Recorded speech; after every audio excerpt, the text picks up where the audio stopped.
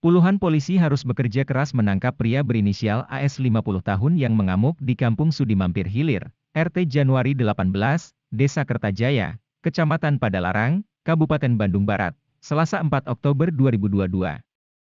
Untuk melakukan penangkapan pria yang merupakan orang dengan gangguan jiwa, ODGJ, tersebut, polisi harus mengepung rumah AS karena saat itu dia berada di dalam rumah sambil memegang pedang, celurit, kapak, dan linggis.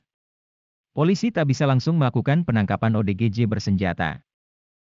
Hal itu karena saat hendak ditangkap, AS kerap melakukan perlawanan secara brutal dengan cara melempari polisi menggunakan batu, hingga menyebabkan seorang polisi terluka.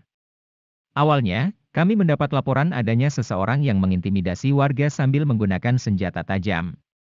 Hasil penyelidikan dan berdasarkan keterangan keluarganya, dia merupakan ODGJ, ujar Kabak Ops Polres Cimahi, Kompol Zulkarnaen di lokasi kejadian, Selasa 4 Oktober 2022.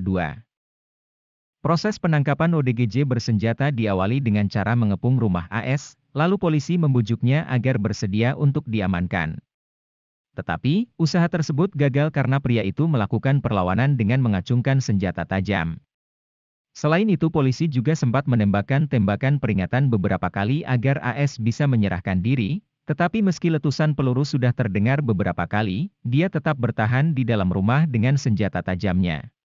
Setelah itu, kata dia, pihaknya berkoordinasi dengan pihak keluarga untuk melumpuhkan pria tersebut dan akhirnya polisi mendapat izin karena negosiasi yang sudah dilakukan tidak berjalan. Penangkapan sudah sesuai protap dan SOP, bahkan tembakan peringatan juga tidak dihiraukan. Akhirnya kami tembakan flashball, gas air mata, ke dalam rumah, akhirnya dia bisa dilumpuhkan, katanya.